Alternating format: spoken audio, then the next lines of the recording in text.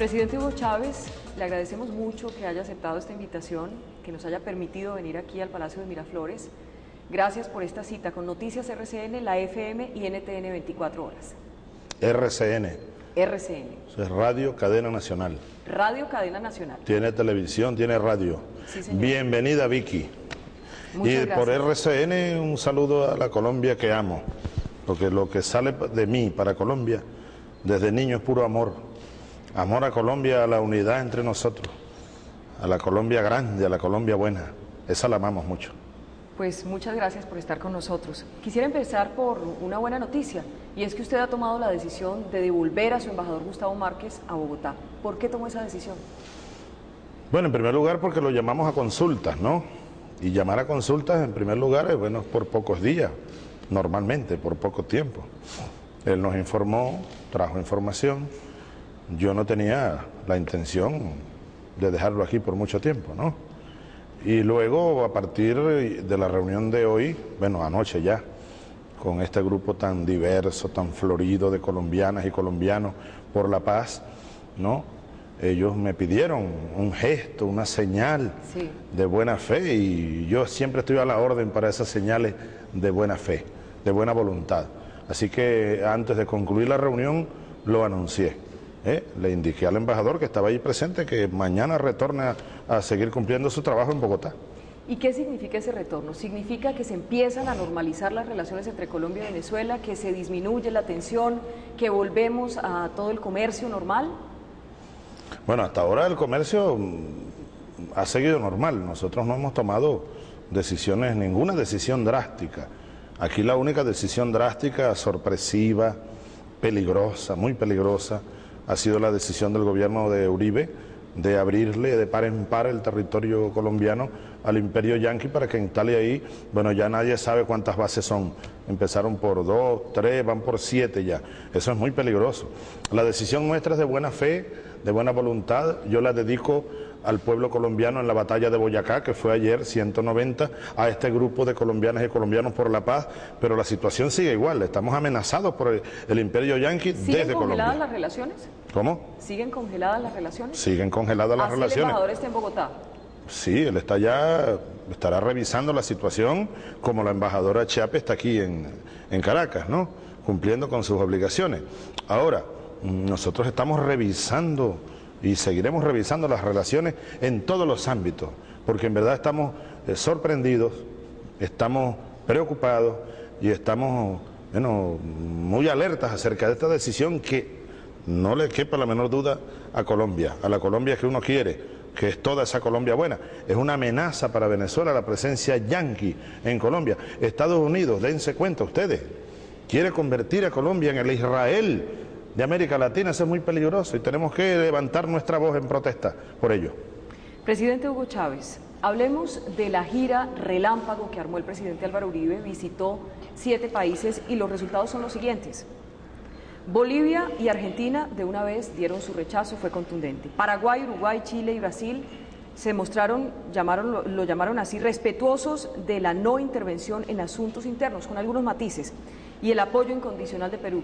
¿Qué opina de esa gira del presidente Álvaro Uribe y de lo que pasó con esos países? Yo creo que es un Uribe a la defensiva. Yo conozco bastante a Uribe, incluso su psicología. Como él me conoce a mí. Es un Uribe sacando, así como, no, no voy a poner, un- no, la comparación no es válida, a la defensiva. Porque sabe que la situación para Colombia se pone más difícil. Colombia corre el riesgo de quedar aislada en este continente. ¿eh? Colombia está reforzando la matriz de que es un país ahora subordinado al mandato de Estados Unidos. Eso es terrible para cualquier país en América Latina.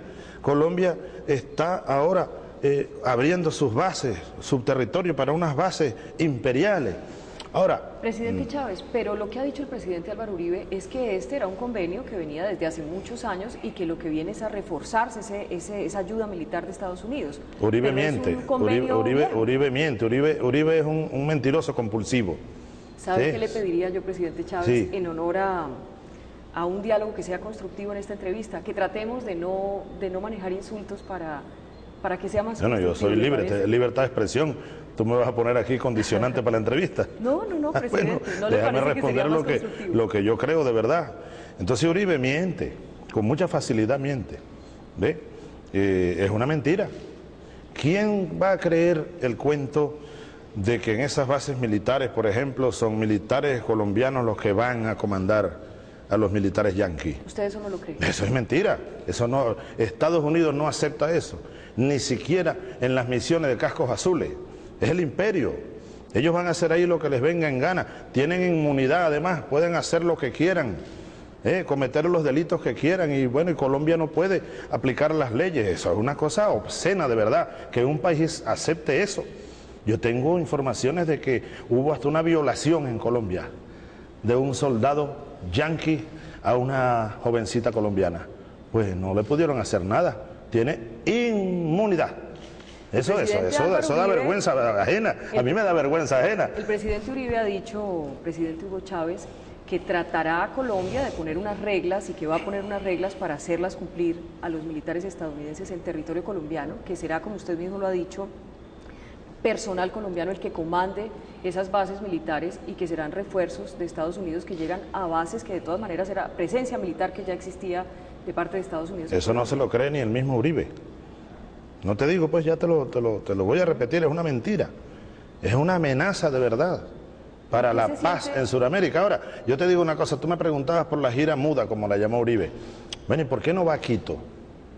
Yo de aquí le hago un llamado al presidente Uribe. Vaya y dé la cara en Quito. A UNASUR. No tenga miedo. Dice usted a UNASUR. A la cumbre de UNASUR, que cumpla con su responsabilidad. Colombia es miembro de la UNASUR. Colombia es miembro del Consejo de Defensa de Sudamérica. Que no tenga miedo el presidente Uribe que así como hizo esa gira relámpago, vaya a Quito y dé la cara. ¿Usted Perfectamente podemos... ¿ah? ¿Cree que se trata de miedo, presidente Chávez? Yo creo que sí, tiene miedo de, de, qué, de enfrentar una realidad, de quedarse solo allí. Porque en verdad Colombia, te digo, y ustedes los colombianos y colombianas deberían verlo con cuidado. Esa decisión los va a alejar mucho más al gobierno de Uribe, ¿no? del entorno, bueno, del vecindario latinoamericano y va a aparecer Colombia como más subordinada aún al imperio, a Estados Unidos. Eso es horrible para un pueblo libre como el pueblo de Colombia, un pueblo heroico como el pueblo de Colombia. Presidente Chávez, ¿por qué no analizamos en ese punto las posiciones de Paraguay, Uruguay, Chile y Brasil? Dijeron, nosotros somos respetuosos de los asuntos internos. ¿Este no es un asunto interno de Colombia? ¿Por qué ponerle condiciones a Colombia si es un asunto de Colombia? Yo creo que se está manipulando con todo esto de la gira muda de Uribe y lo que se ha dicho, ¿no? Yo, por ejemplo, conozco las posiciones de Lula perfectamente, ¿no? Yo no voy a pronunciarme sobre lo que otros gobiernos hayan declarado o los voceros de otros gobiernos o lo que Uribe haya dicho que le dijo tal presidente. ¿Pero le extraña que Lula haya adoptado esa posición de respeto a lo que llamó asunto interno de Colombia? Mira, yo conozco las posiciones de Lula, las conozco muy bien ¿eh? y te repito, más allá de la manipulación que se pretende hacer para tratar de dividirnos ahora nosotros. ¿Eh? Se está tratando de decir que estamos divididos en Sudamérica en relación con el tema de Colombia. No, no hay ninguna división. Yo estoy seguro que más allá o más acá, y lo veremos en UNASUR, todos en América del Sur estamos altamente preocupados por el tema de las bases militares en Colombia más allá de todos los vericuetos que, hayan ocurrido en esta llamada, eh, ¿cómo se llama?, gira muda del presidente Uribe, ¿no? Una cosa sin precedentes en la diplomacia, por cierto, una gira muda. ¿Podría insistirle en el tema del asunto interno? ¿Por qué el presidente Hugo Chávez, por qué Venezuela tiene que decirle a Colombia lo que tiene que hacer en su territorio? Yo no lo diría de esa manera, porque nosotros no le estamos diciendo a Colombia lo que tiene que hacer en su territorio. El gobierno de Uribe es libre de hacer en su territorio lo que quiera. Incluido nosotros, llevar a militares para Claro, pero nosotros tenemos derecho, derecho a alertar qué es lo que estamos haciendo. Yo no le estoy prohibiendo a Uribe, ni pudiera hacerlo. Sería una pretensión, este, bueno, fuera de todo orden. Solo que yo estoy llamado y obligado moralmente, como jefe de Estado de Venezuela, a protestar y a decir por qué protestamos. Es una amenaza contra Venezuela la presencia de tropas yanquis en Colombia. Estados Unidos está tratando de frenar la integración de América del Sur. Estados Unidos pudiera utilizar en cualquier momento las bases militares en Colombia para agredir a Venezuela Estados Unidos tiene planes para invadir a Venezuela y está sembrando bases al lado. Tú tienes que entender, cualquier colombiano o colombiana debe entender la posición de Venezuela. ¿eh? Entonces, el gobierno de Colombia, así como tú me dices y me preguntas, pues, y yo te digo, sí, está bien, tienes razón. Yo no puedo decirle a Uribe lo que haga o no haga. Pero si Uribe, el gobierno de Uribe, tuviera el más mínimo sentido de, cuidar las relaciones con Venezuela, pues debería tomar en cuenta las opiniones de Venezuela para cuidar las relaciones con un vecino, con un vecino que, que quiere a Colombia que quiere tener buenas relaciones con Colombia, que quiere llevar adelante el proceso de integración colombo-venezolano. Deberían tomar en cuenta eso, nuestras opiniones nuestras alertas, pero para nada lo han tomado en cuenta. Pero tenga la plena seguridad, presidente Hugo Chávez, que Colombia jamás se prestaría para que atacaran a Venezuela. Tenga la plena seguridad. Oye, ya ha ocurrido. O, Venezuela se prestaría para que atacaran a Colombia. Fíjate una cosa. Te voy a responder eso primero que tú dijiste que no es cierto. Seguramente porque tú no tienes informaciones. Tú debes recordar que aquí, a pocos kilómetros de Caracas, una madrugada, las fuerzas militares venezolanas, afortunadamente sin disparar un tiro, capturaron más de 200 paramilitares colombianos que, fueron traídos aquí, eh, fueron organizados en Colombia, reclutados en Colombia, eh, apoyados desde Colombia.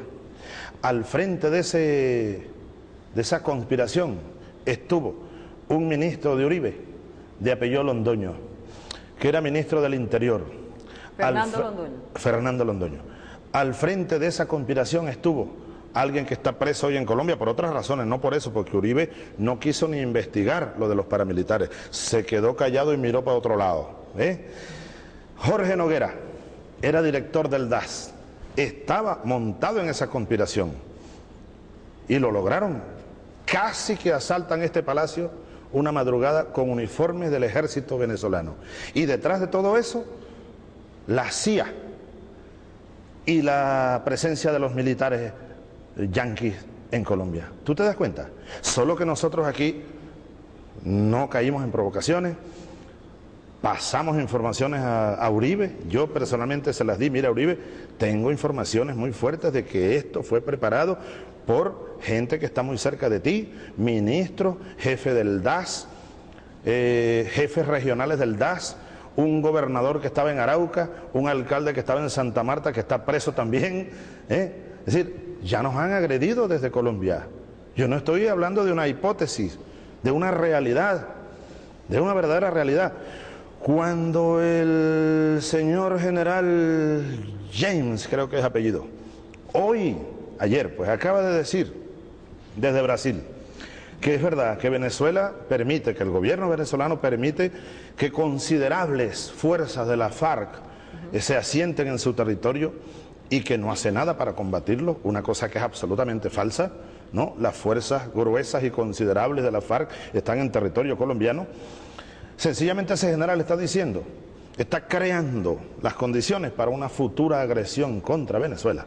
¿Eh? utilizando el territorio de Colombia y las bases militares de Colombia. Cualquier analista puede concluir fácilmente todo esto.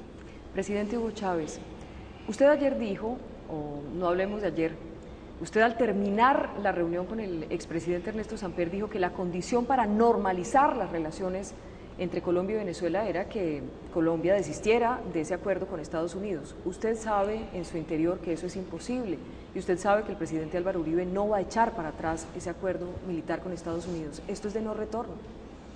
Entonces nosotros seguiremos adelante. Si Colombia, si el gobierno de Uribe, yo no quiero hablar de Colombia, porque te repito, yo amo a Colombia. Es más, yo me siento colombiano, pues yo soy bolivariano hasta la médula de los huesos. Y Colombia nació aquí en el Orinoco. Y Colombia nació en Boyacá y en Carabobo. Y fue Bolívar el padre de Colombia. Y Miranda, el abuelo de Colombia, por decirlo así. O sea que los venezolanos somos colombianos. ¿eh? Somos colombianos. Bolívar antes de morir, en su última proclama nos dijo a todos, colombianos, mis últimos votos son por la felicidad de la patria. Y nos llamó a la unión. Entonces yo amo a Colombia y me siento hasta los huesos colombiano. Por eso no, no digo Colombia, digo el gobierno de Uribe. Si el gobierno de Uribe sigue adelante en su proyecto de instalar esas bases militares de Estados Unidos allí, nosotros lamentablemente seguiremos adelante, bueno, con la revisión de nuestras relaciones, no caeremos en provocación alguna, pero revisaremos todo lo político, lo económico, lo energético, lo comercial, todo estará en revisión. Lamentablemente. ¿Qué significa en revisión?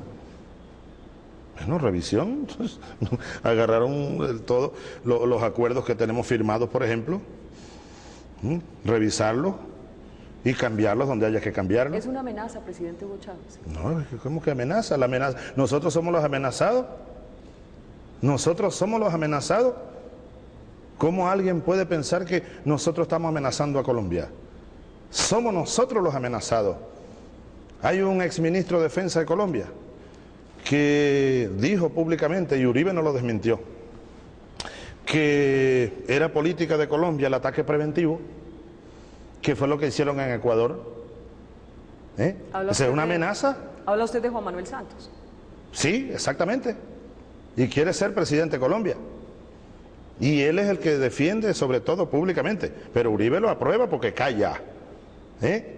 La, tesis totalmente irracional de la defensa o ataque preventivo. Es decir, eh, mañana pasado dicen en Colombia que aquí en Caracas hay una célula guerrillera. ¿Y qué significa eso? Que van a venir aquí con unos aviones de combate a bombardear Caracas. ¿Tú te das cuenta lo grave que es eso? Por eso yo te pregunto, Vicky, ¿quién es el amenazado aquí? ¿Somos nosotros los amenazados? ¿Qué pasa si Juan Manuel Santos es presidente de Colombia? Usted sabe que si las encuestas fueran hoy y, el presidente Álvaro Uribe no fuera en la reelección, hoy sería elegido Juan Manuel Santos. Mira, yo no voy a perder tiempo en especulaciones. vamos a pisar sobre la realidad de hoy. ¿Le preocupa? ¿Cómo? ¿Le preocupa? No, para nada, nosotros estamos, estamos tranquilos aquí. Si llegara Juan Manuel Santos, ¿usted estaría en buena tónica con, Colombia y con ese nuevo gobierno? Eso dependerá de cómo se comporte ese gobierno.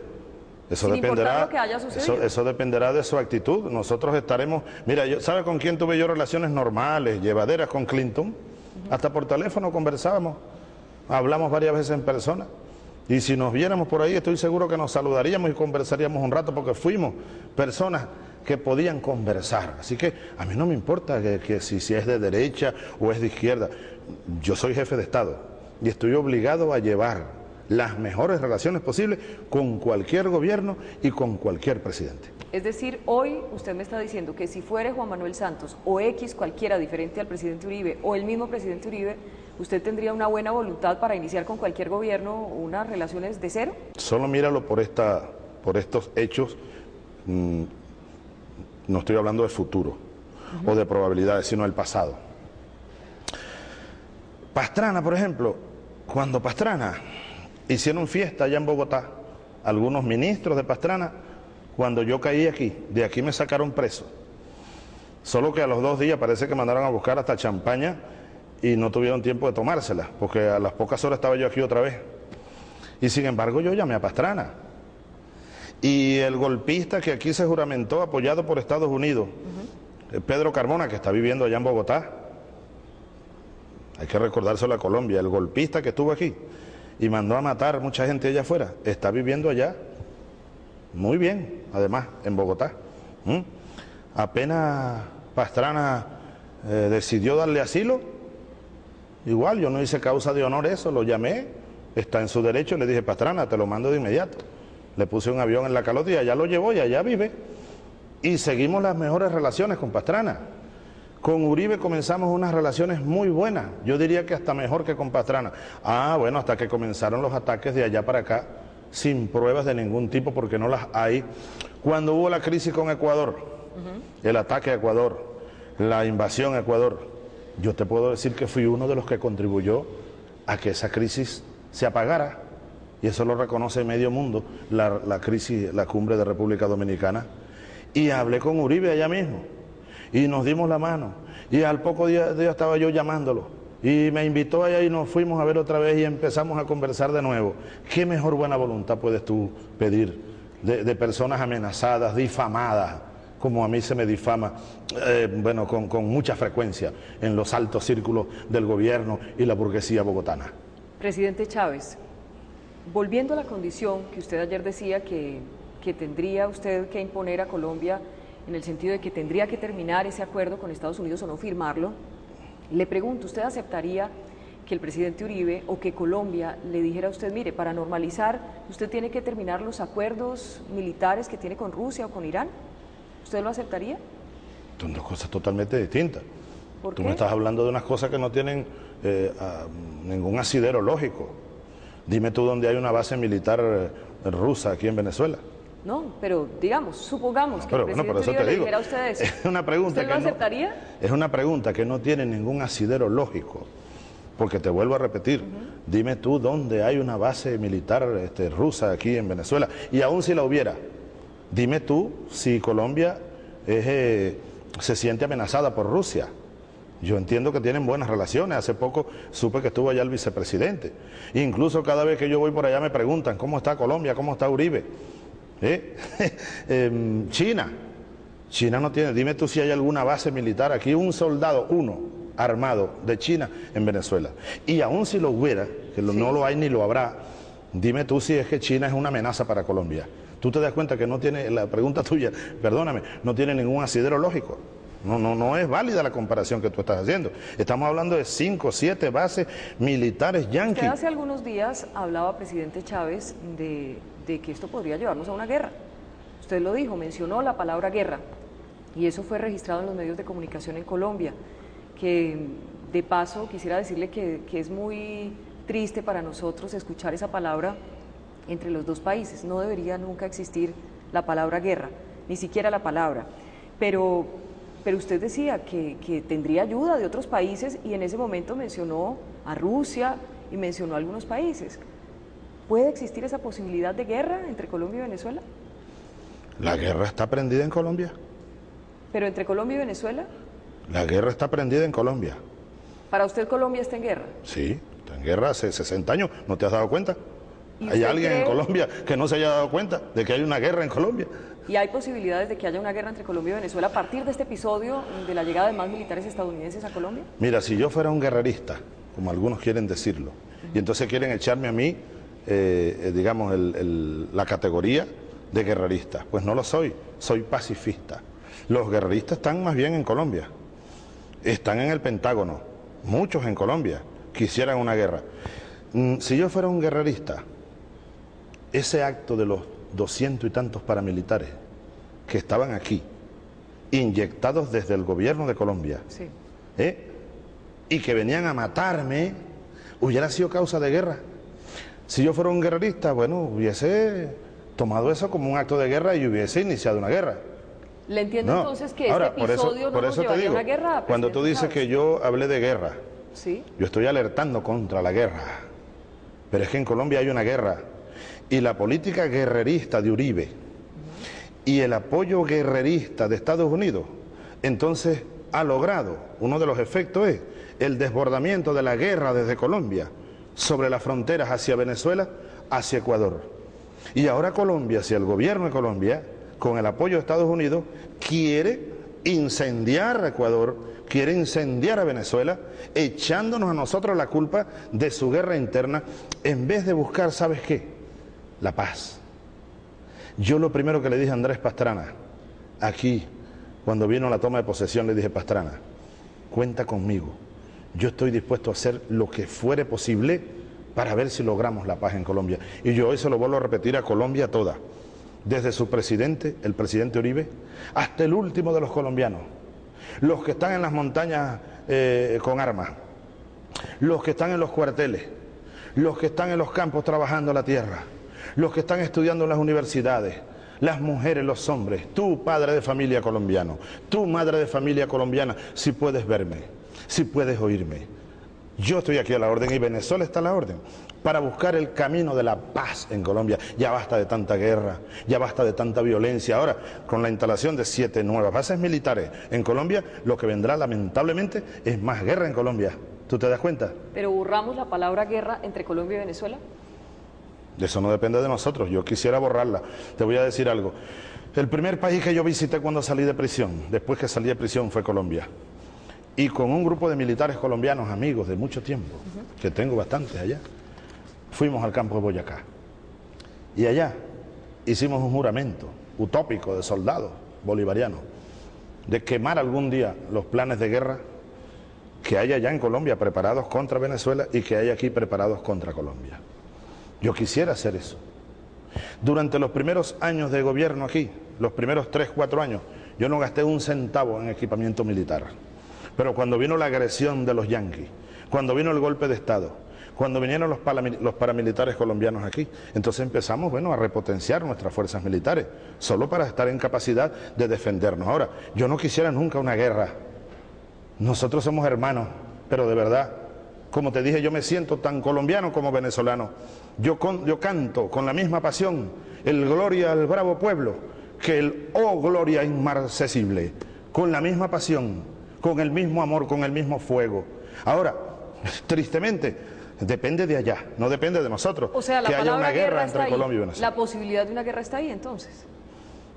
Pero tú no ves, tú no ves la amenaza que es para nosotros el imperio de los Estados Unidos. Tú sabes cuántas guerras. ¿Por qué preocupa tanto ese tú sabes, militar tú sabes, tú sabes, tú sabes, tú sabes cuántas guerras ha generado Estados Unidos. Tú sabes, yo estuve en los desiertos de Irán y de Irak. Y le pregunté a los dos, a los iraníes y a los iraquíes, ¿por qué ustedes pelearon tan duramente aquí durante ocho años y se mataron a cuchillo? Y ambos me dijeron, los Estados Unidos nos puso a pelear.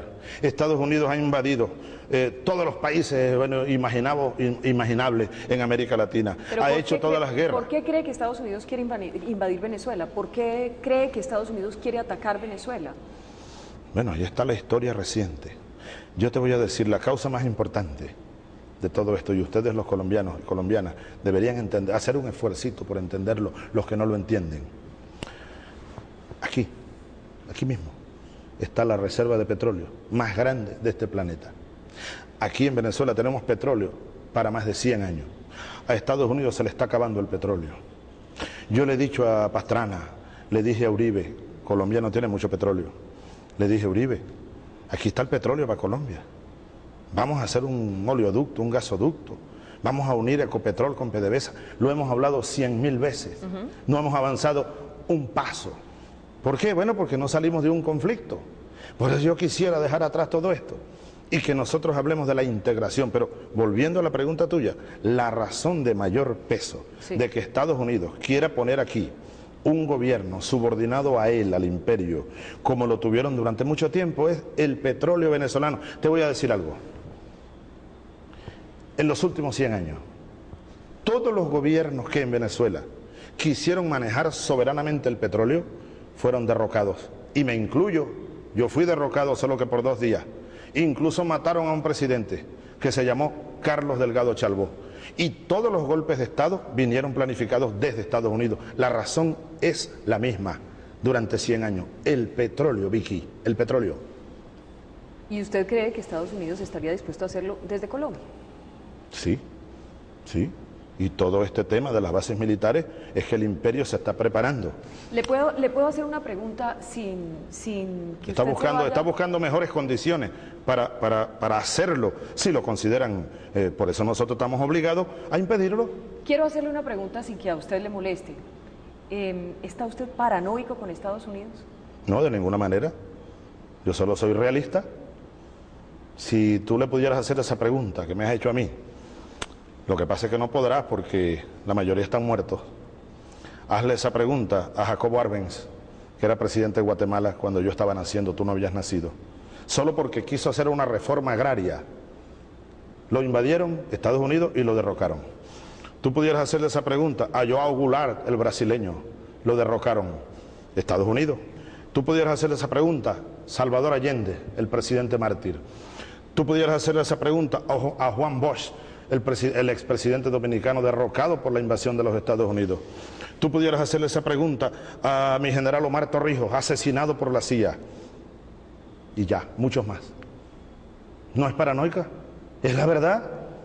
Yo estoy cumpliendo una responsabilidad de jefe de Estado los paranoicos son otros, los de la extrema derecha, los enloquecidos que creen que el mundo no va a cambiar, las burguesías de este continente, pitillanquis que pretenden a rajatabla seguir dominando estos pueblos y no van a poder lograrlo. ¿Por qué usted nunca se, mostró tan, tan molesto o tan alterado con la base militar de Manta con el presidente Rafael Correa. Tuvo durante todo su primer periodo el presidente Rafael Correa la base militar de Manta y usted nunca dijo nada y esa sí era una base militar de Estados Unidos.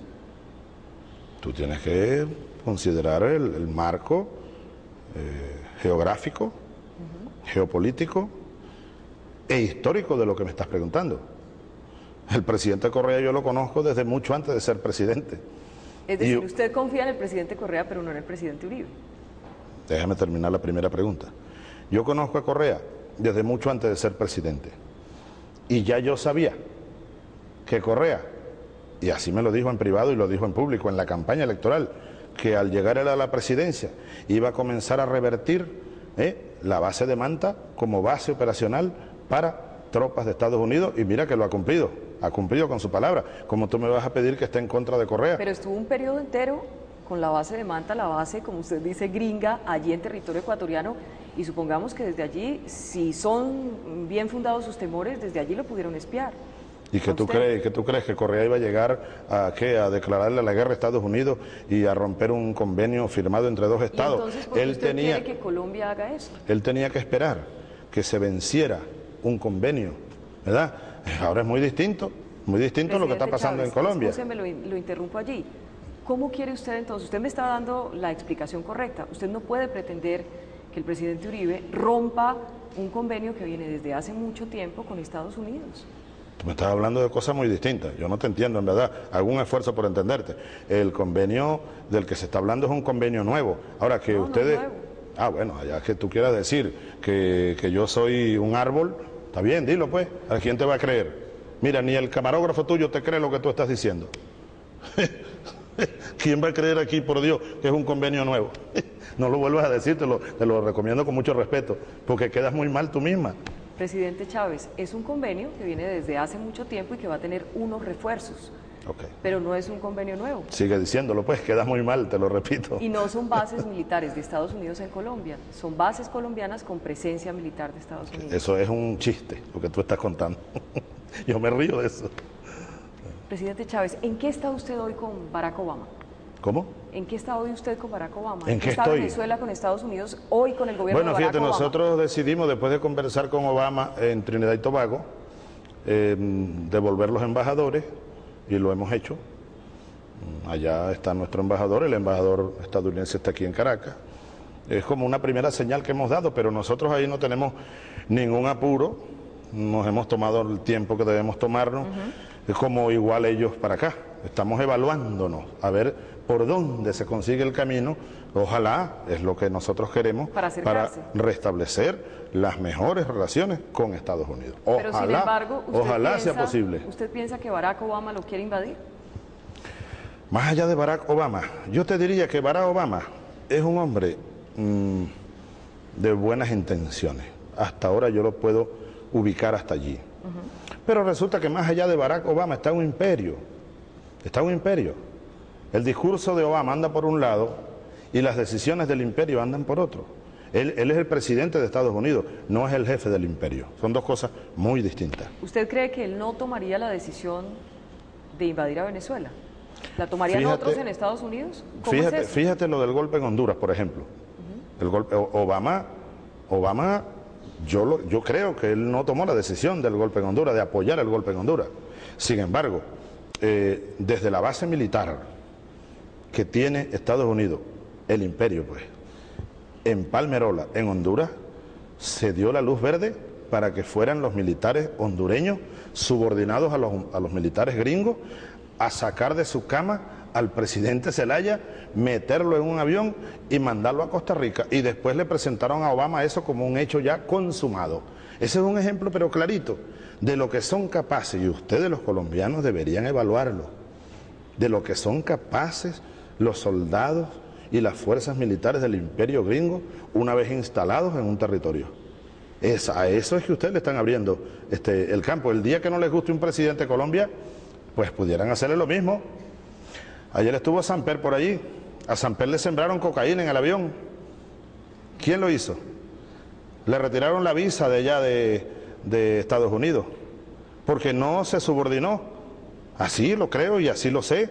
A los mandatos o a los requerimientos del imperio. A Samper le estaban, lo estaban cazando para agarrarlo preso en Nueva York. y acusarlo de narcotraficante y dejarlo allá preso, como preso tienen al general Noriega, aquel que fue presidente de Panamá, y ellos invadieron solo para llevarse al presidente del país, acusándolo de narcotraficante. Tú te das cuenta de lo que es el imperio, ¿verdad? Te puedes dar cuenta de eso.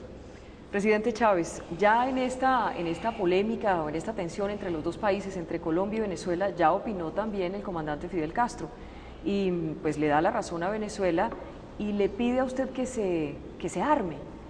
Y leía yo hoy cuando venía en el, en el avión desde Bogotá un artículo en el diario El Universal donde lo citaban a usted diciendo que había, se había comunicado que iba a estar con Putin en Rusia y que iba a comprar unos tanques de guerra. Bueno, quien se ha estado armando hace varios años en primer lugar ha sido Colombia. Para luchar contra el narcotráfico y la guerra. Eso es lo que dicen allá. Pero fíjate que el narcotráfico se ha incrementado. Y te voy a decir algo, donde llegan las tropas norteamericanas, Vicky, tú puedes escribirlo, se incrementa el narcotráfico. En Afganistán, después de la invasión, el narcotráfico se ha incrementado en más de 30 veces, multiplícalo por 30, donde llega el ejército de Estados Unidos, llega más narcotráfico. Entonces, eso es lo que se dice, pues es una gran mentira. Entonces, ahí está Colombia hace poco, fíjate, un helicóptero artillado colombiano, pero traído de Estados Unidos, aterrizó en un puesto venezolano. Y fíjate la buena intención, la buena fe nuestra, de madrugada. Estaba artillado y todo. Me llaman y yo digo, bueno, ¿qué pasó? No, que el combustible, qué mal tiempo. Le combustible, denle desayuno a los pilotos y que se vayan tan pronto amanezca. Y así ocurrió. Yo he podido hacer un, acto de, que nos agredieron. No, no, la buena fe siempre está por delante de nosotros. Ahora, quien se ha estado armando de verdad es Colombia. Nosotros por una elemental lógica de responsabilidad ¿no? para cuidar nuestro país, hemos comenzado bueno, a fortalecer nuestro poder de defensa y lo vamos a seguir haciendo en la medida de nuestras posibilidades, pero no es para agredir a Colombia ni a nadie, es para defendernos, más nada. Presidente Chávez, usted ha sido capaz de movilizar tropas a la frontera, Colombia nunca lo ha hecho. Mm, usted ha sido capaz de utilizar un lenguaje que ciertamente ha sido muy ofensivo para Colombia, y usted nos ha llamado narcoestado y usted nos ha dicho que somos un Estado inviable y nos ha dicho una cantidad de cosas que resultan bastante ofensivas para Colombia. Cuando de pronto le pasa mm, la calentura, si lo puedo llamar así, ¿se arrepiente de esas cosas que, le dice a Colombia? Fíjate, ustedes, ustedes ya tienen, tienen un empeño, algunos de ustedes, tú entre otros, de presentarme a mí como es que yo agarro unas calenturas y tal. No, yo no soy así allá lo que ustedes quieran hacer creer al pueblo colombiano, al que amo como al venezolano, lo vuelvo a repetir.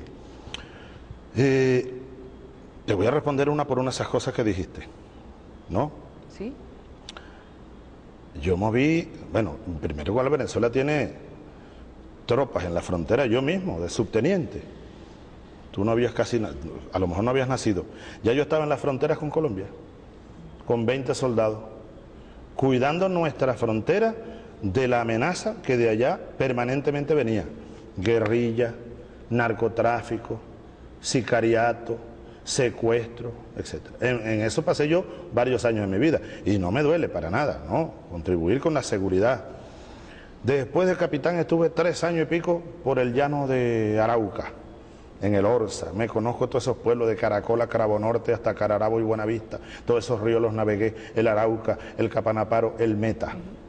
Es decir, Venezuela ha tenido por necesidad, desde que Colombia está en una guerra interna y desde que en Colombia comenzaron a florecer lamentablemente los carteles del narcotráfico, ¿eh?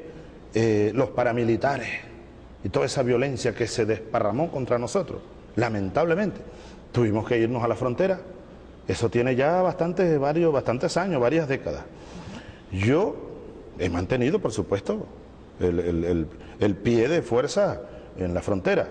Ahora, cuando yo mandé a mover unos batallones a la frontera, es cuando nos sentimos amenazados, unos batallones adicionales, pues. Fue cuando el gobierno de, Colombia, el gobierno de Uribe, invadió y bombardeó el Ecuador, ¿eh? Y además salieron a decir, en vez de decir que, fue un error, salieron a decir que no, que ellos estaban usando el legítimo derecho a la defensa eh, con el ataque preventivo. Y que en Venezuela había campamentos guerrilleros, es decir, nos estaban amenazando a nosotros. Esa fue la única razón que me llevó a mover varios batallones a la frontera, estaban amenazándonos. Tan pronto pasó la amenaza, yo volví a mover las tropas a sus cuarteles. Esa fue la única vez que lo he hecho. Lo demás ha sido más bien para fortalecer la seguridad del lado venezolano y además ayudar a la vida, ¿sabes de quiénes? De decenas de miles de familias colombianas que se han pasado para acá. ¿eh? como producto de la guerra interna que tienen ustedes allá, lamentablemente. Pero son decenas de miles, familias enteras que se vienen y tenemos que a veces ubicarlos en campamentos humanitarios y yo mando a los soldados a atenderlos, a sacarles las cédulas, a ver cómo los ubicamos en algún puesto de trabajo, a ver dónde va a estudiar el niño, dónde va a estudiar la niña, dónde va a parir la mujer colombiana que se vino embarazada, porque son nuestros hermanos y es una obligación atenderlos como seres humanos. ¿Ve? ¿Usted en realidad cree que Colombia es un narcoestado?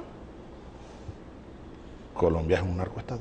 ¿Sí? Sí. ¿Por qué? El Estado colombiano está penetrado por el narcotráfico. Dime tú cuántos senadores y diputados hay presos ahorita por narcotráfico. Dime tú cuántos. Se está haciendo justicia. Hay Bueno, justicia, bueno. no es un narcoestado. Penetrado el narcotráfico, ¿cuántos gobernadores? ¿Cuántos alcaldes? ¿Cuántas campañas electorales? Tú debes haber leído unas declaraciones de Rafael García, quien fue jefe de informática del DAS, y todo lo del carrusel de la muerte. Es decir, el narcotráfico lamentablemente penetró distintos estamentos del Estado colombiano. Ojalá Colombia tenga la fuerza propia para limpiar su Estado y para construir un Estado nuevo, de verdad transparente. Nosotros aspiramos que eso sea así. Pero quiero decirle una cosa, presidente Chávez, con todo el respeto que usted se merece, claro, al ser el jefe de Estado de Venezuela. No somos un narcoestado. Colombia es una democracia, es un Estado democrático. Y hay justicia. Bien. Y quienes cometen delitos pagan ante la justicia. Esa es tu opinión, yo la respeto, como respeto a Colombia. Eh, tú me has hecho una pregunta y yo te digo mi opinión. ¿Y del presidente Uribe qué piensa del presidente Uribe? Ya he dicho bastante lo que pienso de Uribe. Ya he dicho, lamentablemente, no es un hombre que, que- no es un hombre para confiar en él. Ojalá. Yo traté, te digo, eh, ¿Y usted es un hombre de confiar, de fiar? Yo sí, yo sí. ¿Por qué? Yo soy transparente como el agua cristalina, como dice la canción del alma llanera. Soy hermano de la espuma, ¿eh? de la brisa y del palmar. Tengo el alma cristalina. Yo soy incapaz de mentir, incapaz de mentir. Así que si tú y yo hacemos un convenio, puedes confiar en mí.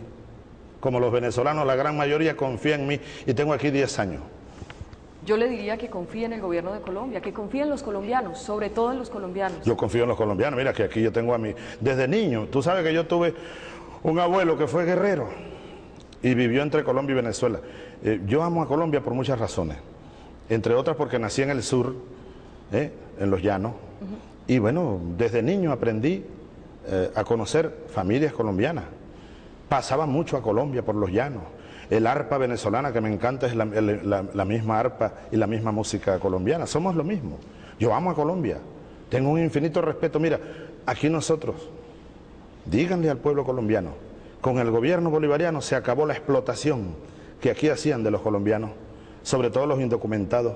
Los explotaban en las fincas, ¿eh? en las casas de familia. Nosotros lo primero que hicimos fue darle cédula venezolana a los colombianos y están trabajando, estudiando, tienen atención médica y todo eso. Si Nosotros usted quiere amamos tanto a Colombia, una- no nos vuelva a llamar narcoestado, presidente una Chávez. cosa, una cosa es Colombia, una cosa es Colombia y otra cosa es la situación que se vive en el estamento político de Colombia. Son dos Pero cosas es el muy distintas. gobierno que ha, es- que ha escogido Colombia. Bueno, yo lo, no, yo, yo lo reconozco, y lo reconozco, lo Si reconozco. quiere tanto a Colombia, no nos vuelva a llamar narcoestado. Tanto, tanto lo reconozco. Te duele un poco, la verdad duele a veces. Claro Te- que duele, la duele, verdad pero duele, no la verdad la duele, pero es, verdad. pero es la verdad, es mi verdad, yo creo en eso. Ojalá no fuera así. Como también sé y creo que los paramilitares, el paramilitarismo penetraron también estamentos del Estado colombiano, ¿eh? estamentos del Estado colombiano. Aquí nosotros teníamos un Estado, no tenemos un Estado perfecto, pero teníamos un Estado que estaba secuestrado por la burguesía criolla. Estaba secuestrado. Era un Estado burgués. Era un Estado corrupto. Yo aquí trabajé en esta casa de mayor y yo vi aquí un presidente borracho, Todos los viernes, hoy es viernes, amaneciendo sábado, había fiesta aquí, mucho whisky. Y yo vi al presidente una y veinte veces que lo sacaban borracho. Esta era una casa de fiestas, de borracheras. Era una casa donde aquí vivía la amante del presidente, su esposa en la casa de residencia. Y aquí su amante, públicamente, ¿no? manejando las cosas y la administración del, palacio con más poder a veces que el presidente. Era, era un Estado penetrado por todas esas cosas. Ahora viene una asamblea constituyente y hemos empezado a sanear el Estado venezolano. Tampoco es un Estado perfecto. Si tú me dices que aquí hay corrupción, la hay, y yo no me ofendo. ¿eh? Si aquí me dices tú que hay fallas en el Estado y que todavía tenemos deudas con la población. Claro, pero, no es lo mismo, presidente Chávez, decir que Venezuela es un Estado corrupto. Es diferente. Que hay corrupción. Es diferente. Y no solo en el Estado, en la no sociedad. Un Estado corrupto, que es la generalización de todo el Estado. No podemos llamar narcoestado a Colombia. ¿Cómo tú quieres que te diga entonces para que, para que termines de, insistir? Que el Estado colombiano es un Estado con presencia del narcotráfico. Bueno, te lo digo de esa manera. Pues. problemas dolorosos. Te lo digo de esa manera, te lo digo de esa manera. Ahora, ¿sabes qué? Mientras más le den ustedes entrada al ejército de los Estados Unidos, mientras más le den entrada a las tropas yanquis, más narcotráfico va a llegar en Colombia. Pero ten la seguridad que eso va a ser así. Presidente Chávez, hablemos de este episodio que ha tenido pues un papel protagónico en estas tensiones entre Colombia y Venezuela durante estos días, los lanzacohetes AT-4. Tráeme uno, por favor, tráeme. Tráeme el armado y el desarmado y la foto de los que Uribe tiene por allá. Eh, dile a Uribe, vamos a decirle a Uribe, manda a destruir esos bichos porque aquí los tengo, mira. ¿Cuándo, le pidió explicaciones Colombia a usted formalmente, presidente Chávez? Nunca. ¿Nunca? Nunca. ¿Miente Colombia cuando dice que el 2 de junio le pidió explicaciones escritas y lo hizo a través de su canciller, Jaime Bermúdez? Sí, de manera informal. Ah, fue informal. De manera informal. Este informe que está aquí, ¿Sí? lo trajo el canciller venezolano. ¿Cuándo? Tú, tú puedes, en junio. En junio, el 2 de junio. En junio. Tú puedes acercar aquí la cámara para que los colombianos y colombianas vean la fecha de este informe, fíjate. Fecha, 29 de octubre de 2008. Ah, el año pasado. Sí. Esto es un informe hecho en Colombia, repito, aquí, aquí está, Policía Nacional de Colombia, firmado por unos funcionarios, aquí están sus nombres, Policía Nacional, firmado... ¿Qué dice, ese informe? Edinson, Quimbaya Torres, Jonathan Cárdenas Sandoval. Bueno, este informe dice que ellos fueron a inspeccionar un material. Y aquí está la foto, mira. Estos son los famosísimos lanzacohetes. Son una chatarra, para empezar por ahí. Pero con la que matan gente, presidente Chávez. bueno, una chatarra. En Colombia. Claro, una chatarra. Con esto difícilmente. El peligro, el peligro era para los que lo tenían. ¿Te parece? Sí, pero mira, lo dice el informe, no es que me parece. Te lo leo. Sí, claro. te puedo dar una copia si tú quieres. de todos modos, yo mandé copia para allá con toda esa gente que vino, para que le digan al pueblo colombiano la verdad y no la farsa que inventó el gobierno de Uribe. Aquí dice que en la Macarena, en el Meta, eh, bueno, revisaron este material. Bueno, fíjate tú, vean los colombianos y colombianas. Esta, bueno, que me hiciste la pregunta, yo no, ni, siquiera tenía pensado, pero estaba preparado ¿no? para mostrar esto porque ya lo he mostrado varias veces. Vean ustedes, colombianas y colombianos. Presidente Chávez, si le pidieron a través de, si le enviaron ese documento el año pasado, octubre, ¿tú me puedes permitir? Venezuela no había respondido. Tú me puedes permitir, no, pero me, expliqué mal. Ah. No lo enviaron en octubre, lo hicieron en octubre. Ah, ya le entiendo, y, lo, y se lo entregaron a usted en junio. En junio, en junio se lo entregó el canciller colombiano a mi canciller en San Pedro Sula de manera informal, sin ningún oficio ni nada. Ah, le entregó. ¿Eh? Totalmente informal. Vean ustedes, estos son los famosísimos lanzacohetes. Vean ustedes la similitud con este que está aquí. Bueno, este es un arma desechable, esto está disparado hace no sé cuántos años. Esto no tiene ningún riesgo, esto no tiene nada, es un tubo, porque es un arma desechable.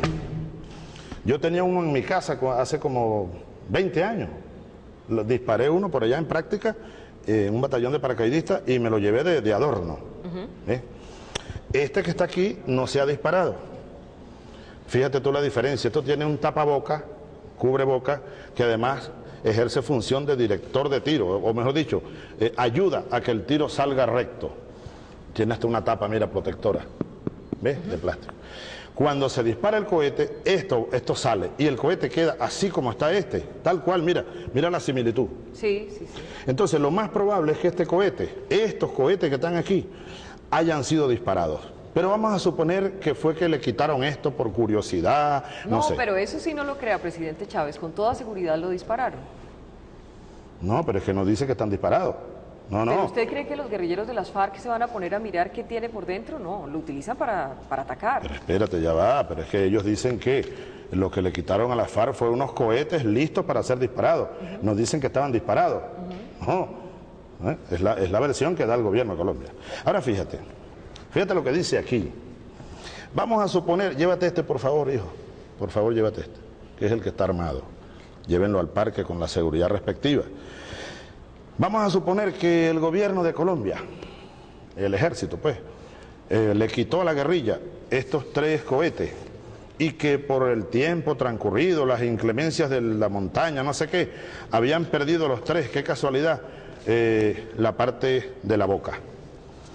Ok. Y que tenían la granada ahí dentro, ¿verdad? Mm. Es un, es un arma desechable, tú disparas y botas esto. Ok. Aquí dice, en el informe que mandó Uribe, firmado por funcionarios colombianos, tres misiles antitanque AT-4, en su interior con una granada, en su interior con una granada calibre 84 milímetros, las cuales se encuentran en regular estado de conservación y sistemas de seguridad inestables. Es de anotar que por lo antes mencionado se debe destruir el material en su totalidad para que no ocurra un incidente con los elementos descritos. O sea que quitemos este de aquí. O este es solo el cartucho. Esto, esto no tiene nada, mira. Ah, pero no me apunte. No, no te estoy apuntando. Estoy apuntando para acá porque este- eh, la boca está aquí. No tiene nada. Esto se disparó hace mucho tiempo, ya no sé cuánto tiempo. Entonces, más bien yo creo que si, si, el- el- si Uribe le quitó esto a la guerrilla, la guerrilla debería darle las gracias a Uribe porque era un peligro para que lo tuviera. Ahora, ¿tú sabes cuál es mi hipótesis? Dándole, dándole credibilidad al informe. Sí. ¿Verdad? Y eso se lo mandé yo a decir a Uribe. Por eso es que esto es una puñalada. Porque Uribe sabe la verdad. ¿Con quién se lo mandó a Es decir? con igualito con el canciller. Mi canciller llamó al canciller de Colombia y le dijo, mire, eso no tiene ninguna sustentación. Vean ustedes, lean que es un material inservible, que más bien ordenan destruirlo en su totalidad, porque puede explotar en cualquier momento. Entonces, aquí está. Y le mandé a decir a Uribe, cuando la guerrilla colombiana, en el año 1995, por aquí está la fecha, Atacó Cararao. este es un informe del 95, aquí está. Atacó Cararabo y este es el informe que hizo la Marina venezolana entonces, firmado por dos señores capitanes de la Marina. Se llevaron cinco AT-4 en, el, en el Meta y el ejército colombiano dice que lo capturaron en el Meta, en la Macarena. Entonces para mí yo lo que creo es que estos pudieran ser tres de esos cinco que la guerrilla hace casi 20 El años. ELN. Porque entendemos que el asalto fue del ELN. ¿Cómo aparecería en manos de las FARC? Bueno, anda tú a averiguar con el ELN y con la FARC. Es que se cruzan, creo yo, por todos lados. Ahora, eso es lo, eso es lo más creíble. Ahora, ¿sabe lo peor? Que Uribe sabía todo esto. Uribe sabía, porque le respondimos a los pocos días, que el informe no tenía sustentación, que es un material inservible, que más bien en el mismo informe dice y recomiendan que lo destruyan y que lo más probable es que sean armas de las de Cararabo. Entonces ahora él saca esto, ¿sabe por qué? Para tratar de justificar la decisión de instalar las bases yanquis en Colombia, satanizándonos a nosotros. Entonces es una puñalada. Por eso, ¿cómo tú puedes creer en un gobierno así, en un presidente así? Pues Para es usted el episodio difícil. estaba muerto. ¿Cómo? Para usted el episodio estaba muerto. Sí, yo creía que Uribe ya estaba convencido y de repente salen por la prensa mundial que Chávez le está dando armas a la guerrilla y uno, el mismo vicepresidente de Colombia lo dijo no sé dónde, sí, que son armas muy potentes, muy potentes, no sirven, son inservibles, ellos lo saben si está escrito en el propio informe, ¿tú te das cuenta? Presidente Chávez, Es para- necesito, como para reírse a pesar de todo, para reírse de la torpeza del gobierno de Colombia. necesito hacerle mm, una pregunta con respecto pues, a todo esto, este por favor. episodio y Llévate. usted entenderá la pregunta. A ver. ¿Qué les podemos decir a los colombianos? ¿Venezuela le entrega, le facilita, le ayuda con armas a las FARC? ¿Sí o no? No, yo lo he dicho mil veces. Allá dicen que sí, pero dicen que sí los interesados en satanizarme. ¿eh? Y lo dicen no desde ahora. Anoche yo le, recordaba a Samper, cuando él era presidente, yo estaba saliendo de prisión, el 95, tenía un año y iba a salir. A mí me acusaron desde Colombia que yo había comandado, por cierto, el ataque a Cararabo. Me acusaron a mí, aquí llegó el informe de la presidencia de Colombia, a Caldera, que yo había comandado al frente de la guerrilla colombiana el ataque a Cararabo. Desde entonces vienen todos esos ataques. Mira, ¿tú crees que si yo quisiera, mire, colombianas y colombianos, sé que ustedes son inteligentes, si yo quisiera darle armas a la guerrilla, tengo 10 años aquí, eh, Vicky, ¿tú crees que yo le daría unos cohetes como estos? ¿Eh? Y además con, con el cereal o el lote reconocido como que fue vendido a Venezuela. No, para mí sería sumamente fácil, relativamente fácil, en el mercado negro comprar, mandar a comprar cañones que no tienen serial, armas. ¡Uh! Ya hubiera armado yo otra guerrilla, pero no lo voy a hacer porque yo quiero es la paz, porque la paz para Colombia es la paz para nosotros. Mira, si yo le decía a Andrés Pastrana, Andrés, me parece que sería bueno que fuésemos al Caguán, cuando Marulanda me mandó una carta invitándome. Y yo le insistía varias veces a Pastrana y le dije, vamos los dos, yo quiero ir contigo. Él consideró que no era conveniente, bueno, está bien. Pero yo quería con Marulanda, sobre todo, hablar de la paz. Como aprovecho para mandarle este mensaje a las fuerzas militares de Colombia, a los militares, al gobierno, a las fuerzas militares que son del gobierno, a la guerrilla colombiana. Vamos, vamos a dar demostraciones de que queremos la paz. Este grupo de colombianas y colombianos que hoy vino, yo me comprometí con ellos a retomar el tema. Y yo me pongo a la orden modestamente para tratar de ayudar, así como en Centroamérica hubo guerra durante mucho tiempo y se mataron por miles y cientos de miles, Estados Unidos financiándola, mandando armas, asesores militares, eh, era Honduras la base de operaciones contra Nicaragua, contra El Salvador. Pero por fin lograron un acuerdo de paz. En Guatemala, Colombia ya está bueno. Vamos, hay que poner los fusiles a un lado y los cañones y todas esas cosas. Vamos a hablar de paz. Venezuela está a la orden. Por eso dije yo que mientras allá están instalando bases de guerra, bases militares con aviones y no sé cuántas, aquí vamos a instalar bases de paz. Usted dice que usted, obviamente, no, no entrega ni facilita armas para la guerrilla de las FARC. ¿Usted está seguro de que gente que de pronto trabaja con usted, presidente Hugo Chávez, y le digo nombres que se han barajado en Colombia, por ejemplo, el general Hugo Carvajal, director de inteligencia militar, Cliver Alcalá también, general, que trabaja en Carabobo, y dos coroneles cuyos nombres no se han revelado, que aparecen algunos de ellos en los computadores de Raúl Reyes, ¿cree que no hay nadie que de pronto pueda estar haciendo este trabajo para las FARC? Nadie. ¿Está seguro? No, soy seguro. ¿Por qué está tan seguro? Estoy seguro, conozco mis oficiales. Eso no es decir una patraña más. Ahora, yo sí te pudiera decir de militares colombianos, se lo demostré a Uribe, que se reunieron, y no sé si siguen reuniéndose, con militares gringos en un edificio en Bogotá, planificando operaciones contra Venezuela. ¿Quiénes? Nombres y apellidos. Uribe los tiene. No los tengo. No, yo no, no, no, los tengo a la mano. Eh, no los tengo a la mano en este instante, pero tengo los datos. Sé dónde se reunían, con qué ¿Son militares. militares activos? Militares activos de Colombia. Incluso hay uno de ellos que estaba negociando por internet con una gente aquí, del gobierno nuestro, un funcionario, la entrega de uno de los generales golpistas que estaba por allá escondido, a cambio de creo que eran 3 millones de dólares.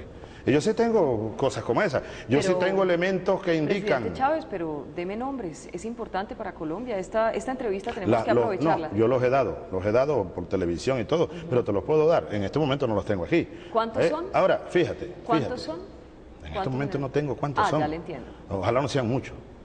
Eh, yo tengo, por ejemplo, en mi mano declaraciones de paramilitares colombianos que tuvieron presos aquí, que hablan, y de otros que trabajaban en el DAS, que señalan al exministro Londoño, a Jorge Noguera, ex jefe del DAS, y a jefes del DAS que están todavía en funciones complicado con la conspiración contra Venezuela.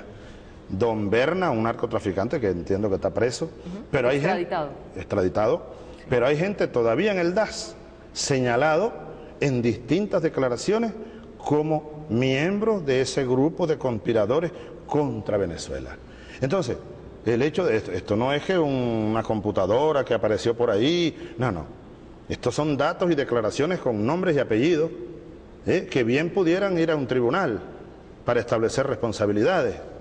¿eh? Ahora, la pregunta que tú me haces, yo te digo, estoy absolutamente seguro que estos dos dignos generales de mi ejército que comando en jefe, para nada tienen que ver con la patraña que han inventado ya. Presidente Chávez, si juntamos esto con lo que se dijo cuando se hallaron los computadores de Raúl Reyes, ¿usted cree que alguna vez estas denuncias pueden llegar a una corte internacional en su contra? Que las manden para que pongan el ridículo. Yo le dije a Uribe allá en, Santo Domingo, le dije, bueno, háganlo, a mí no me van a intimidar, vayan a poner el ridículo. ¿Usted reta a Uribe para que lo demande? No, yo no reto nada. Allá ellos que hagan lo que crean conveniente. Yo no voy a retar a que nadie. Solo tú me preguntas.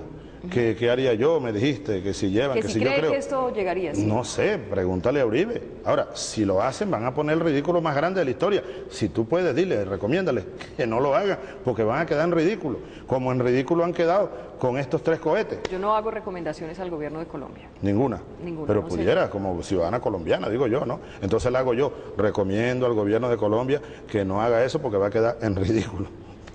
Presidente, justamente en ese tema, el vicepresidente de Colombia, el vicepresidente Francisco Santos, dijo que el gobierno de Colombia, en cabeza del presidente Uribe, en esa gira muda, llevaba toda la información que habría en su contra de supuestas relaciones con las FARC a esa gira muda de esos países. ¿Supo usted algo? ¿Eso fue cierto? ¿No fue cierto? ¿Usted habló con algunos de sus homólogos? ¿Quién dijo eso? El vicepresidente Francisco Santos. Eso da unas declaraciones a veces extrañas. Eh, pintoresca. Yo no le hago mucho caso a lo que dice tanto. Yo recuerdo que lo vi por allá en Doha. En Doha es pintoresco él, ¿no? Él dijo por ahí en esos días, dijo, no, que ya está bueno del plan Colombia, que ya deberían irse los soldados norteamericanos de Colombia. Y yo lo vi en Doha, en la cumbre de América del Sur con, con los países árabes, y le dije, camarada santo, lo felicito, antiimperialista. Por eso no hay que hacerle mucho caso a lo que diga el vicepresidente Santos. Creo que él es muy folclórico. Presidente, ¿usted no se ha dado cuenta que siempre en las diferencias, o por lo menos en este gobierno y durante todo este tiempo, en las diferencias, tensiones, mm, complicaciones, las relaciones entre Colombia y Venezuela, siempre están presentes las FARC? ¿Siempre hay un problema con las FARC? ¿Siempre el tema de fondo es algún episodio con las FARC? Siempre lo que, yo, yo no diría siempre, habría que revisar una por otra, pero yo lo que sí te digo que la constante ahí es la mentira las mentiras fabricadas en laboratorios de la CIA, utilizando a Colombia y al gobierno de Colombia y a las instituciones de Colombia para agredir a Venezuela. Esa sí es una constante, puedes escribirla. Más allá de que señalen al ELN o a la FARC o al factor que sea, el factor constante es la mentira diseñada en laboratorio. Esa sí es la constante. Y allí, fíjate, eso es uno de los más graves daños que la presencia militar yanqui en Colombia le hace a las relaciones entre nuestros dos países. Esos laboratorios de guerra, mira, casi siempre, tú te puedes poner a investigar eso, cualquiera en Colombia pudiera hacerlo. Casi siempre, cuando haciendo esfuerzos de ambos lados, hemos colocado las relaciones en, puntos casi que inmejorables o, u óptimos, ocurre algo. Casi siempre. Eso ocurrió con Pastrana y con, más frecuencia con el presidente Uribe. Yo recuerdo una vez incluso que teníamos un momento excelente con Pastrana. Y yo voy a Bogotá y hacemos una reunión con empresarios y firmamos no sé cuántos convenios. Y apareció aquel, aquel famoso señor llamado Serra Alzate que lo pusieron detrás de mí como miembro de la seguridad. Incluso cuando yo me paré a dar el discurso, él arrimó la silla me llevó un vaso con agua a la, a tril. Después que yo me vengo, todo terminó de maravilla, un abrazo, pastrana y tal. A los pocos días sale la televisión colombiana, extra, Serra Alzate y los medios anunciando, informando lo que Serra Alzate dijo, pues. ¿No? Serra Alzate dijo a la policía de Colombia, según la policía, que él era un miembro de la FARC y que cada vez que yo iba a Colombia él era mi escolta, el jefe de seguridad, y que eso formaba parte de un acuerdo mío con Marulanda, y que esa noche él estaba allí porque iba a matar a Andrés Pastrana. ¿Eh? Ese es solo uno de los casos que yo recuerdo. Casi cada vez que se anunció un viaje mío a Colombia, algo surgía. Es decir, eso es un laboratorio que está trabajando 24 horas al día y siempre toman el tema de la FARC, por ejemplo, o del ELN o la guerrilla, para tratar de enturbiar. ¿Sabes qué? Para impedir que nosotros nos unamos. Yo por eso quiero insistir en esto, en que hagamos esfuerzos superiores, sea quien sea el presidente de Colombia. ¿eh? Si hay respeto por Venezuela, nosotros responderemos igual. Si hay afecto de verdad por Venezuela, nosotros responderemos igual y trabajemos por la unidad entre nuestros pueblos, en lo económico, en lo social, que bastantes cosas tenemos que hacer. Hoy, ¿qué piensa Hugo Chávez de las FARC?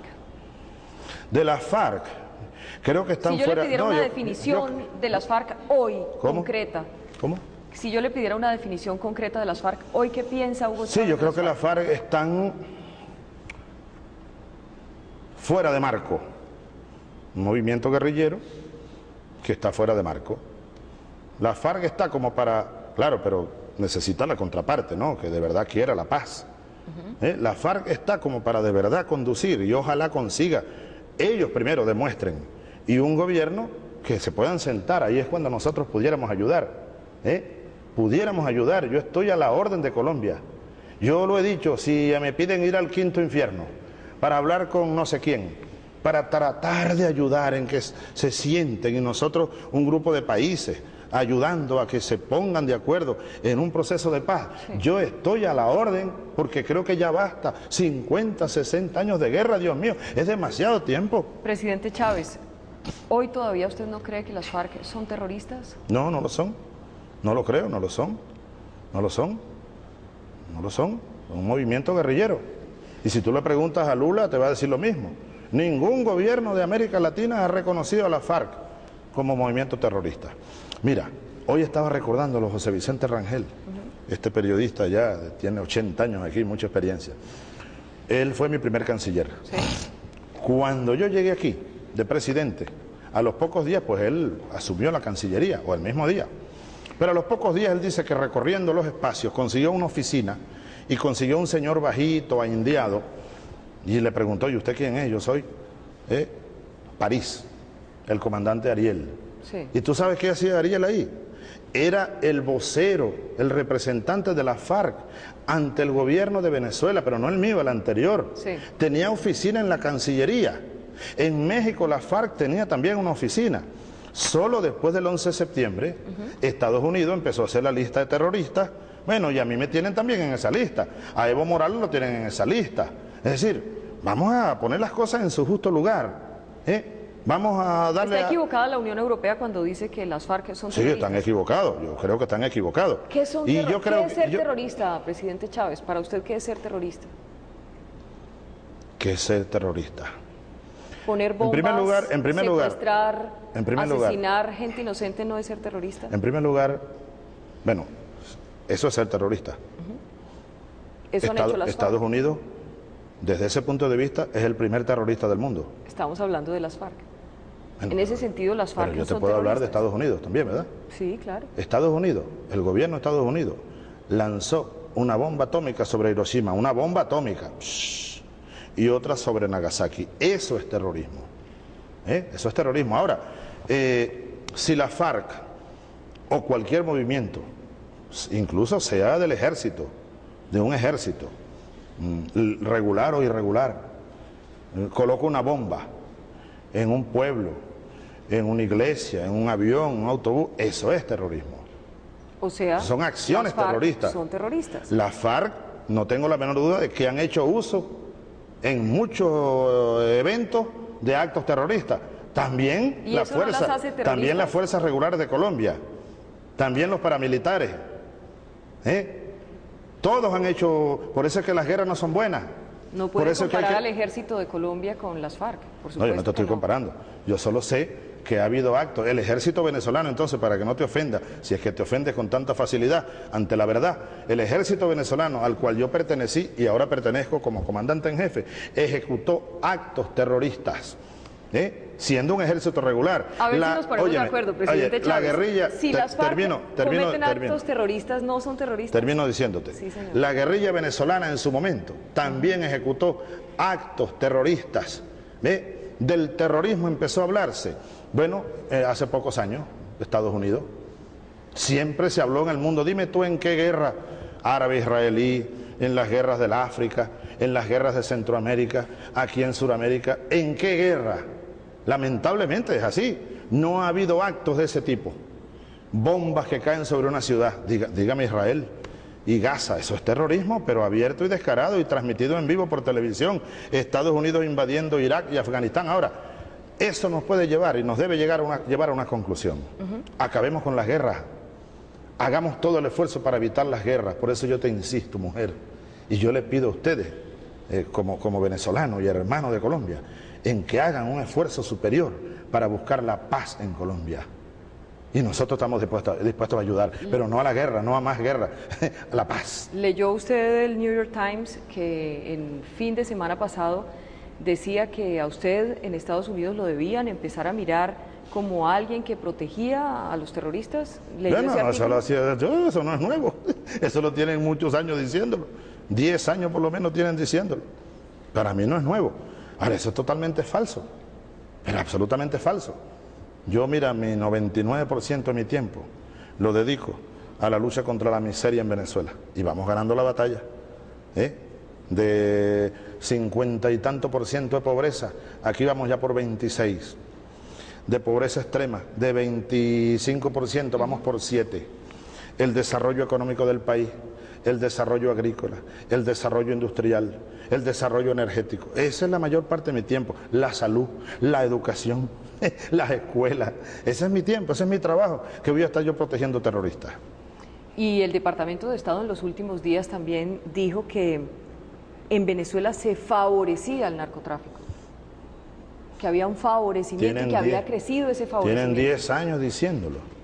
Ahora te voy a decir algo. La verdad es que, y tú puedes revisar informes en Naciones Unidas que lo reconocen, desde que se fue la DEA de aquí, hace ya cerca de cinco años, es que hemos comenzado nosotros a tener éxito en la lucha contra el narcotráfico. Desde que se fue la DEA, se acabaron las entregas controladas y no sé cuántas otras cosas. Este año nosotros, solo en lo que va de año, hemos decomisado, incautado más de 20 aviones, no sé cuántas fincas, y miles de kilos de cocaína, heroína. Hemos detenido nueve capos internacionales, incluso uno italiano, al que lo llaman de la Cosa Nostra, lo agarramos aquí. Por primera vez, cuando estaba la DEA aquí, nada de eso era posible. Ahora, que ellos lo digan, bueno, ese es el imperio acusándonos a nosotros para satanizarnos. De verdad que aquí estamos haciendo una lucha grande, pero muy grande, contra el crimen, contra el sicariato, contra el secuestro, contra el narcotráfico, contra la corrupción. ¿Usted se siente el gran salvador de América Latina? ¿El gran? Sí. ¿El gran qué? Salvador de América Latina. Dios me libre de eso, chica. Yo solo soy un soldado así chiquitico, hijo de Bolívar, eso sí. Hijo de Bolívar con un amor infinito por este pueblo y lo que quiero es la paz y la integración de estos pueblos, porque estoy convencido de que el proyecto de Bolívar, este no es Bolívar, este es Joaquín Crespo, eh, Bolívar, ese era el camino.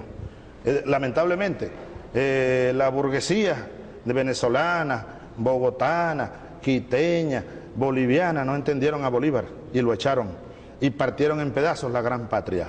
Y aquí estamos hoy ahora. Yo creo poderosamente en que es posible la salvación de América Latina. Ahora, ¿tú sabes quién es el Salvador después de, Cristo, el Redentor? De Dios. Los pueblos, que son la voz de Dios.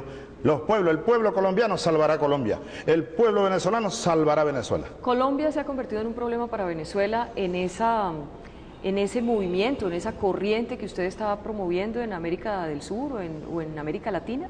No, no, no. Colombia, el único problema de Colombia, así lo veo, Colombia no es ningún problema. Colombia, te repito, Colombia es un amor, Colombia es un compromiso, Colombia es la oportunidad de la patria grande.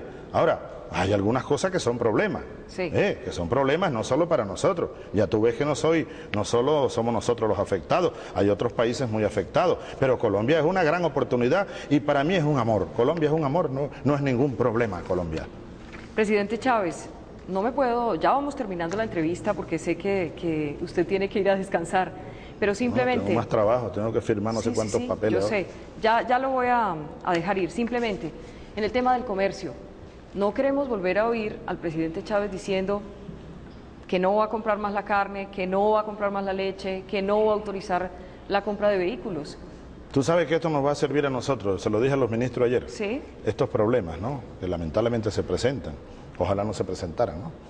Para acelerar mm, el proceso interno de independencia eh, económica, especialmente en alimentos. Nosotros aquí tenemos que producir toda la carne que necesitamos, todo el pollo, todos los huevos, toda la comida, pues. Y algún día Venezuela va a ser exportadora de alimentos, como lo es Colombia, porque solo que el petróleo nos hizo daño en ese sentido. Cuando empezó aquí a aparecer el petróleo, se abandonaron los campos, se abandonó la agricultura y heredamos una agricultura por el suelo. La estamos levantando, ¿no? La estamos levantando ahora. Eh, hay un gran desequilibrio en la balanza comercial con Colombia, también con Brasil. Tenemos que buscar la forma de equilibrarla. Ojalá que este problema pudiéramos superarlo y volver al y normalizar el comercio. ¿Cómo? Normalizar el comercio. Bueno, hasta ahora está normalizado, no, ha pasado nada. Ojalá, por eso yo creo que Uribe está a tiempo ¿Sabe de, que las cifras, de pues? revisar su decisión, de pensar mejor de lo que más le conviene a Colombia. Y lo que más le conviene a Colombia debe ser lo que más le convenga a Venezuela y viceversa. Nuestros destinos están unidos, son inseparables. De todas maneras, las cifras vienen decreciendo en los últimos, en el último año, en el 2008 y en el 2009. Fíjese usted que de enero a mayo, Venezuela hizo negocios con Colombia, de Venezuela hacia Colombia, 238 millones de dólares en lo que va corrido del año, pero en el 2008 fueron 1.557 millones de dólares. Y en el caso de Colombia, en el 2009 estamos hablando de 2.684 millones de dólares y en el 2008 la cifra todo el año fue de 6.092 millones Yo creo que tienes cifras equivocadas. No, son del Ministerio de Comercio Exterior. Yo creo que estás equivocada. Pero no, no, son del Ministerio de Comercio Exterior. Creo que estás equivocada, tienes que revisar. Eh, te voy a decir algo. Colombia, claro, en primer lugar, en primer lugar, la crisis mundial nos ha afectado a todos. El precio del petróleo está en promedio por cerca de 50 dólares el barril. El año pasado por estos días estaba en más de 100. Eso nos ha obligado a priorizar las importaciones. Pero sin embargo, ahí están todas las cifras. El comercio de Colombia hacia el exterior, el único país donde se ha mantenido constante es Venezuela. Estados Unidos se vino abajo. Las ventas de Colombia a Estados Unidos, abajo. Ecuador, abajo. Colombia ha venido sosteniendo su producción moderadamente, gracias humildemente a las importaciones con Venezuela. Eso debería tomarlo en cuenta el presidente Uribe, eso, debemos cuidarlo, deberíamos cuidarlo, deberíamos tener más cuidado en esto. Y esto es un saludo a los empresarios de Colombia. Nosotros queremos seguir trabajando juntos. Ahora necesitamos algo fundamental, confianza, y en la medida que Uribe patea la mesa, como la ha pateado otra vez en esta ocasión, se destruye en un segundo lo que se construyó con tanto esfuerzo durante eh, miles de días. Pero a Venezuela le queda fácil conseguir esos productos en otra parte al mismo costo, presidente Chávez. Sí, en verdad sí, en verdad sí, porque además en, condiciones más ventajosas. Eh, ¿Con qué países? Por ejemplo, Argentina. Hoy yo pero está más lejos. No es lo mismo pasar la frontera y sí, ya pero, pero fíjate la diferencia. las empresas argentinas están haciendo con nosotros empresas mixtas, asociaciones. Entonces nos venden, por ejemplo, mm, carne, ¿verdad?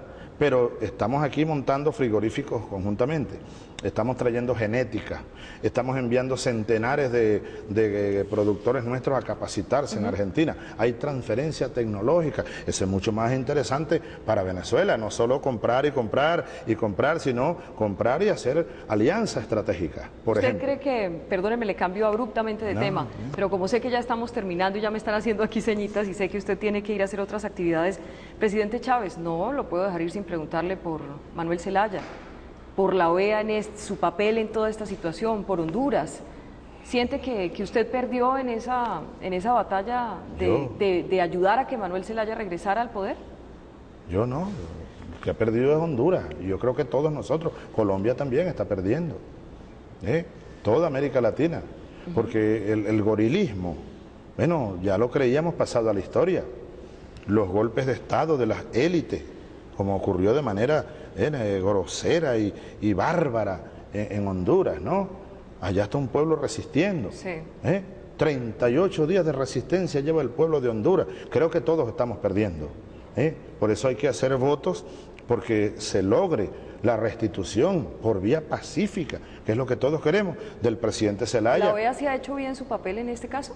Yo creo que la OEA comenzó haciendo un papel digno y un pronunciamiento donde también se sumó Colombia, ¿no? En contra del golpe y pidiendo la restitución inmediata e incondicional del presidente Zelaya, que es lo que ha debido ocurrir hace días ya.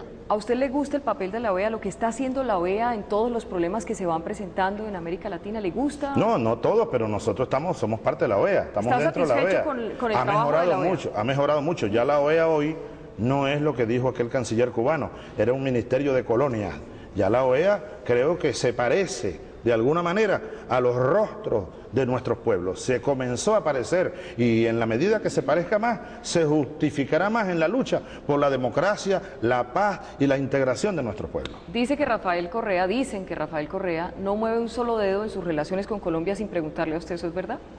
Absolutamente falso. Correa es un hombre digno. ¿Usted le ha dicho que se calme? Correa es un hombre digno, nadie tiene por qué decirle que se calme. Pero es muy bravo, presidente Chávez. Él es muy bravo. No, no... ha dejado atrás el episodio de hace más de un año con respecto a Raúl Reyes. ¿Y qué tú crees que pasó ahí?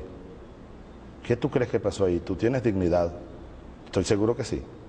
Si a tu casa se mete alguien y masacra a una gente en tu casa, y se lleva de ahí los muebles y, se mete a tu cuarto y te voltea la cama y no sé qué más.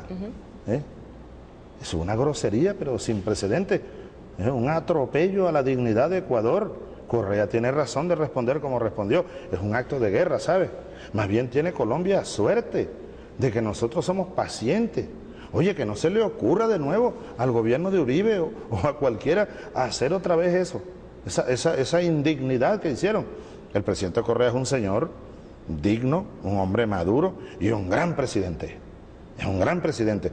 Tendremos el gusto de estar con él allá eh, en el acto de toma de posesión. Ojalá vaya Uribe, que dé la cara a Uribe. Uribe anda y da la cara, da la cara y nos, sentamos a conversar. Nada mejor que el diálogo. ¿Cómo te vas a decir ahora que eres el mudo? no puede entender. ¿Y no le gustaría eh, recibirlo, por ejemplo, aquí en Venezuela? ¿No le gustaría que se encontraran en otro punto que no fuera UNASUR? ¿Quién? ¿Usted y el presidente Uribe? No está previsto en este momento, lo que está previsto en la agenda. ¿Le gustaría de pronto? No, en este momento no me gustaría. Pero lo que sí me gustaría es que Uribe cumpla con su compromiso y vaya a la, a la, UNASUR. Presidente Chávez. No tiene razón para no ir, más bien. Yo creo que hay muchas razones para que vaya. Él ha generado todo este alboroto aquí en América Latina. ¿Se compromete Venezuela a no permitir que guerrilla colombiana, que las FARC ingresen a territorio o se resguarden en territorio venezolano? Nosotros tenemos esa responsabilidad por la Constitución, por las leyes nacionales. No puede haber ningún cuerpo armado, ni guerrillero, ni paramilitar, ni militar extranjero en Venezuela. Eh, ojalá, ojalá en Colombia hicieran lo mismo y no permitieran la presencia, bueno, ni de gringos armados, ni, de, ni de narcotraficantes, ni de guerrilleros. Por eso hay que buscar la paz y que se vayan los gringos. Y nosotros, mira, hay un planteamiento del gran caudillo José Gervasio Artiga, que bien bueno sería para aplicárselo al problema interno de Colombia. No debemos esperar nada, sino de nosotros mismos. Los yanquis no nos van a arreglar el problema. Arreglémoslo nosotros mismos, colombianos, venezolanos, ecuatorianos, sentados en paz y como hermanos que lo somos. Las FARC no están en Venezuela. Las FARC no están en Venezuela, están en Colombia. Y en, el último tiempo el gobierno de Colombia le ha enviado esta información sobre ubicación, coordenadas y demás. Me han, mandado, Me han mandado varias veces. ¿Y, usted qué ha hecho con esa información? He mandado a cada sitio. ¿Y no ha encontrado nada? Incluso, ¿sabe que le dije a Uribe la última vez? hasta le dije, mira Uribe, aquí están las fotos, las coordenadas, el video del punto que tú me dijiste. Pero hay dos puntos que a los que no pudimos llegar, porque están del lado colombiano. Él me mandó unas coordenadas diciendo que eh, estaba tan equivocado el informe que le dieron a él, que dos de los puntos que me dio como que estaban en Venezuela era son territorio colombiano y se lo demostré con las coordenadas. Usted ha dicho que si Colombia intenta ingresar a su territorio para atacar, así sea las FARC, usted va a responder militarmente. Nos gustaría, los perdón, nos gustaría a los colombianos que también les dijera a las FARC que si intentan ingresar a Venezuela, responderá militarmente. Nosotros hemos respondido militarmente en muchas ocasiones. ¿Les dice eso a las FARC en este Cuando Se lo digo, se lo he dicho. Se lo si he las dicho. FARC ingresan a Pero- territorio pero crea venezolano, que no- usted los ataca Pero militarmente. créame que no es la primera vez que, que se lo he dicho, incluso aquí en este salón de al lado se lo dije hasta el, el día, el momento que se estaba yendo a Iván Márquez, que vino aquí cuando yo traté de ayudar y en algo creo que ayudamos para Que a rescatar. Venezuela no se meta. Que no se metan con Venezuela porque si los vemos le vamos a, a echar tiro, como nos hemos echado tiro en varias ocasiones. Aquí no pueden entrar, tienen que respetar. Este es un suelo sagrado, ¿eh? la soberanía. Ahora, ojalá, ojalá Colombia lo logre.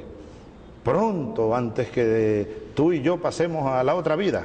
Ojalá sea para ti, sobre todo, muy lejos. Tus hijos, ¿tienes hijos ya? Claro, claro, ¿Cuántos presidente. tienes? Uno, Simón. Uno, yo tengo ya un bojote y unos nietos también. Ojalá que mis nietos y tus nietos, cuando ellos estén estudiando y haciendo periodismo y lo que hagan, no haya guerrillas, ni haya paramilitares, ni haya conflictos entre dos pueblos hermanos. Presidente Ojalá, Chávez. y para eso hay que trabajar mucho. Y ojalá los colombianos asuman el discurso de la paz. Yo te pido a ti que en tu programa habla de paz todos los días. La paz, la paz. Yo creo que ustedes deberían pedirle a su gobierno que haga más esfuerzos por la paz, pedirle a la guerrilla que haga más esfuerzos por la paz. Háganlo, es por el bien de ustedes mismos y también de nosotros, ¿sabes? Presidente Chávez, ¿qué libro está leyendo? ¿Cómo? ¿Qué libro está leyendo ahora? Ahora mismo estoy leyendo, este libro lo estoy releyendo. Simón Bolívar, Vida y Escritos del Libertador. Pero más allá de libros de historia, estoy leyendo de Isván Mesaros, un gran filósofo húngaro que viene por ahí pronto, se ganó el premio Libertador al Pensamiento Crítico. Eh, ahora ganó el premio Rómulo Gallego eh, Ospina, el gran escritor colombiano, el del país de la canela. Eh, ese me lo, me lo dejó Ospina, voy a empezar a leerlo, parece que es eh, maravilloso. De Mesaro estoy leyendo El desafío y la carga del tiempo histórico, te lo recomiendo. Es la transición al socialismo. Presidente Cómo Chávez. salir del capitalismo, que es la, la maldición del mundo.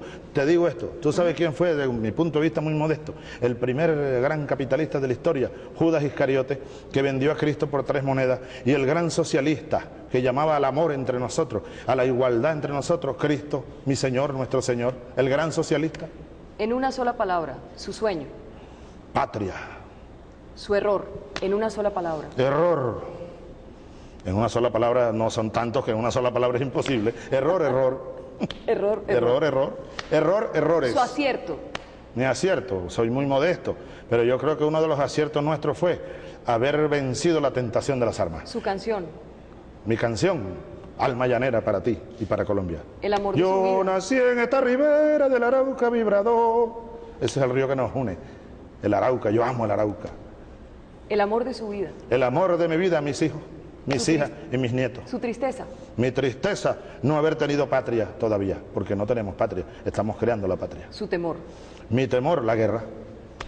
Y como tengo temor, lucho tanto contra ella. Con una sola palabra y para despedirlo, presidente Chávez, Una sola.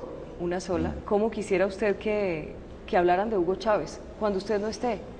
¿Cómo quiere que lo recuerden? ¿Cómo quiere que el mundo recuerde a Hugo Chávez? Dos palabras, una, dos que son una, un hombre. Un hombre. Un hombre es lo que soy, eso sí, hombre. Hombre humano, pues. Hombre humano, porque hay, hay seres humanos que no tienen forma humana, pero no son. Yo soy un humano. Y así solo quiero que me recuerden, un humano.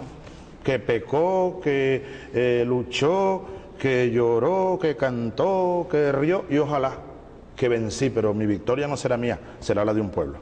Presidente Chávez, Muchas gracias. quiero que me dé la mano en nombre del pueblo colombiano de verdad, porque he venido aquí como periodista, como colombiana, y le agradezco mucho que nos atienda para Noticias RCN, para la FM y para NTN 24. Muchas gracias por haber venido.